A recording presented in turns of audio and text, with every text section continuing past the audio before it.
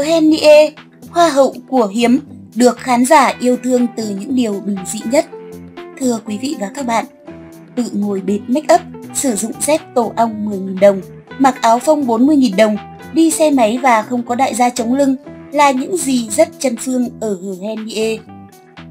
Hờ đăng quang Hoa hậu Hoàn vũ Việt Nam 2017, đặt chân vào làng giải trí, cô gái của vùng đất Tây Nguyên nắng gió luôn nhận được tình yêu từ người hâm mộ bởi sự chân chất giản dị hiếm có giữa chốn showbiz hào nhoáng đèn màu. Mới đây, người đẹp ED gây chú ý với hình ảnh nàng hậu bình dân tự tay làm đẹp. Giữa không gian mộc mạc của nhà sàn, Hờ dựng bàn trang điểm thô sơ từ ghế ngồi và những cuốn sách. Cô miệt mài đánh phấn vẽ mắt, hình ảnh chân phương của hoa hậu hot nhất nhì làng giải trí khiến nhiều người vô cùng thích thú. Ngay sau khi xuất hiện trên mạng xã hội, hậu trường make up của Hờ Henie lan truyền mạnh và nhận được nhiều lời khen. Trước đó, Hoa hậu Hoàn vũ Việt Nam 2017 từng nhiều lần ghi điểm trong mắt công chúng bởi sự dung dị có 102 giữa rừng mỹ nhân showbiz. Đi dép tổ ong giá 10.000 đồng Trong khi các mỹ nhân showbiz đua nhau chạy theo cuộc chiến hàng hiệu tính bằng tiền đô, Hờ Henie lại nhiều lần bị bắt gặp dùng đồ giá rẻ được đương kim hoa hậu Hoàn vũ Việt Nam trọng dụng là đôi dép tổ ong huyền thoại chỉ 10.000 đồng. Nàng hậu còn sở hữu bộ sưu tập dép lê đủ màu, mang lại cảm giác thoải mái năng động, mỹ nhân tôn sùng món đồ này như hàng hiệu thứ thiệt. Thậm chí, người đẹp ED từng mang đôi dép tổ ong huyền thoại sang Thái Lan dự thi Miss Universe 2018. Đại diện Việt Nam còn rủ bạn cùng phòng là Hoa hậu Hàn Quốc lăng xê item này. Mặc áo phông 40.000 đồng Tháng 1 năm 2019, Hờ gây tranh cãi với set đồ đơn giản gồm áo phông, quần jean và giày thể thao bẩn trên chuyến bay trở lại Sài Gòn sau khi về thăm quê. Bộ đồ giản dị và có phần xoay xóa trước công chúng đã đưa người đẹp Tây Nguyên vào tâm điểm bàn tán. Đối diện với việc này, Hoa hậu Hoàn vũ Việt Nam Trần Tình Trân Phương có phải mọi người đang bàn về bộ đồ này của Hen chăng? Hen sẽ không buồn đâu vì sự thật đằng sau nó là vậy mà. Cái áo chắc 40.000 ngoài chợ của em gái mình treo trong tủ, mình mượn nhỏ mặc. Lý do là có một đợt dồn hết đồ đem đi cho hết rồi, nên cái áo thun đơn giản để mặc cho gần gũi cũng không có. Cái áo khoác của anh trợ lý đẹp trai do thời tiết về tối lại lạnh. Cái quần, đôi giày dính toàn đất đỏ vì đi tham thực tế. Điện, suối, đốt lửa chạy, rồi xuống đi tới một buôn khác với đất đỏ và bụi của Đắk Lắk thì chuyện sạch sẽ là khó lắm. Cũng muốn thay đồ cho đẹp nhưng người dơ chui vào một bộ đồ xinh đẹp của nhà thiết kế thì có hơi tiếc không? Mình thấy mình quá lạc quan, thấy bình thường có đồ mặc là được. Qua sự việc thì mình cũng sẽ cân nhắc đi mua thêm nhiều quần áo nữa. Cũng lâu rồi chưa đi shopping đồ thường ngày, ai chỉ hen mấy cái shop có đồ mới về đi, nhưng ngoại trừ trung tâm thương mại nha. Đi xe máy Tích cực đi bộ hay di chuyển bằng xe máy cũng là điểm độc đáo trong phong cách sống của người đẹp lớn lên từ núi rừng. Chiều 26 tháng 1 năm 2019, Hoa hậu Hoàn vũ Việt Nam 2017 có mặt tại một huyện vùng núi của tỉnh Sơn La để mang tình yêu thương tới bà con dân tộc thiểu số. Tết tuyệt vời của Hen, cảm ơn những người anh em trong bản Pó Hoi xã Quy Hướng huyện Mộc Châu, người Hen Mie chia sẻ. Hình ảnh người đẹp ED đội mũ bảo hiểm mặc đồ giản dị ngồi sau xe máy khi lên bản, nhận được nhiều lời khen ngợi từ cư dân mạng. Hoa hậu không có đại gia chống lưng. Bước vào làng giải trí, Hennie được bình chọn là mỹ nhân hiếm và lạ giữa showbiz thị phi. Xinh đẹp, tài năng và nổi tiếng, ai cũng nghĩ người đẹp Tây Nguyên sẽ là đích ngắm của nhiều đại gia. Thế nhưng nàng hậu lại khiến công chúng ngỡ ngàng khi tiết lộ đời tư đi ngược suy nghĩ của số đông. Đương kim Hoa hậu Hoàn vũ Việt Nam thật thà thú nhận trước truyền thông. Tôi khẳng định từ khi đăng quang đến nay không có một đại gia nào nhắn tin tán tình cả. Tôi muốn tất cả mọi thứ mình có được đều do mình tự cố gắng vươn lên. Vì đơn giản, tôi đã và đang là một cô gái tự vươn lên từ một vùng quê hẻo lánh. Có được ngày hôm nay, tôi rất hạnh phúc. Và tôi tin ngày mai của tôi sẽ còn tốt đẹp hơn ngày hôm nay. Tôi không mong chờ ai đó mang ngày mai đến mà tự tôi sẽ đạt được. Hiện tại, Hứa Henie xác nhận đã có bạn trai, mặc dù chưa muốn công khai vì cuộc tình mới chấm nở. Tuy nhiên, Hoa hậu tiết lộ, người đàn ông của mình không phải đại gia, anh làm việc trong lĩnh vực media và rất quan tâm yêu thương gia đình bạn gái. Hờ Henie, hoa hậu từ buôn làng bước ra thế giới. Chân thật ngọt ngào bước ra từ chân đất buôn làng đến đường vàng thế giới. The Henie đã có một năm tưng bừng phấn chấn với những điều chưa từng hoa hậu nào của Việt Nam trước đó đạt được.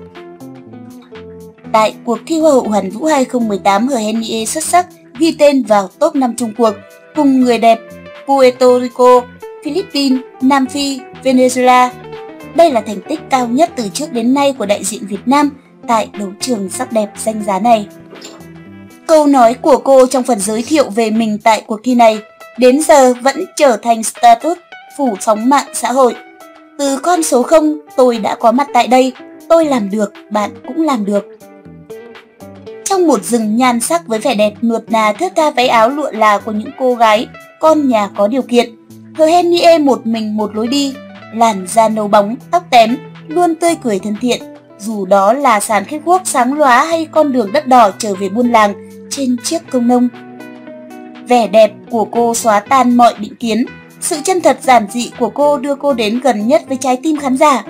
Hờ Henie là một trong số rất ít những hoa hậu sau khi đình đám trên các đấu trường nhan sắc vẫn ngày ngày để mặt mộc ra đường. Tự tin, mặc quần áo cũ vì cô tin rằng sự tự tin không đến từ quần áo đồ hiệu. Người ta bảo tốt khoe xấu che, nhưng nếu bạn cứ che giấu mình không dám cho người khác nhìn thấy con người thật của bạn, thì tức là bạn chưa yêu bản thân, Hờ Nie nói. Trái tim nhân hậu của Hờ Nie, sự thật thà không chút giả tạo của cô hoa hậu núi rừng, khiến khán giả có thêm lòng tự tin, sự mến mộ dành cho danh hiệu hoa hậu vốn nhan nhản và từ lâu đánh mất đi vẻ đẹp trong mắt công chúng. Hờ Nie đã làm khác, nghĩ khác, xây dựng một định nghĩa khác về hoa hậu và chiếc vương miện nhan sắc yêu kỳ. Những ngày đầu tiên của năm mới 2019 trước thềm năm mới kỷ hợi, Hờ còn khiến người hâm mộ Việt Nam nức lòng khi tiến thẳng vào top 10 và top 5 rồi cuối cùng chiến thắng ở vị trí số 1 danh hiệu Timeless Beauty năm 2019. Kế hoạch lớn nhất của Hờ là được sửa lại ngôi nhà cấp 4 của bố mẹ ở Đắk Lắk cho khang trang và tiện nghi hơn. Bằng số tiền Cô đã chiến thắng sau khi lọt vào top 5 Hoa hậu Hoàn vũ 2018. Với cô, một căn nhà nối dài và rộng hơn là hợp lý hơn cả ở vùng quê nghèo, bởi một căn nhà bự ở nông thôn thật sự không phù hợp và cũng chẳng giúp ích gì cả, cô nói. Tất nhiên, khi tiếng nói được khẳng định và chú ý nhiều hơn cũng là lúc những kế hoạch vì cộng đồng sẽ tiếp tục được cô gái cá tính này thực hiện bằng tất cả nhiệt huyết say mê, chọn giáo dục học tập làm nền để mang những đổi thay trong xã hội. Hờ Henie xứng đáng với danh xưng mọi người đã chiều mến đặt cho cô hoa hậu từ buôn làng bước ra thế giới.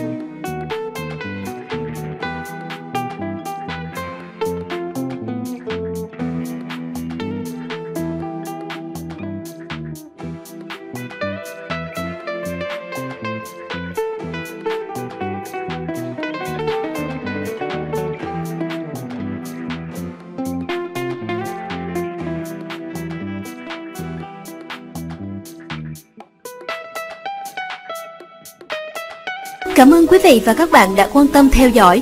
Quý vị hãy bấm đăng ký để theo dõi mỗi ngày. Chúng tôi sẽ cung cấp những câu chuyện hay hấp dẫn ly kỳ đến quý vị. Quý vị nhớ đón xem nhé. Xin chào và hẹn gặp lại.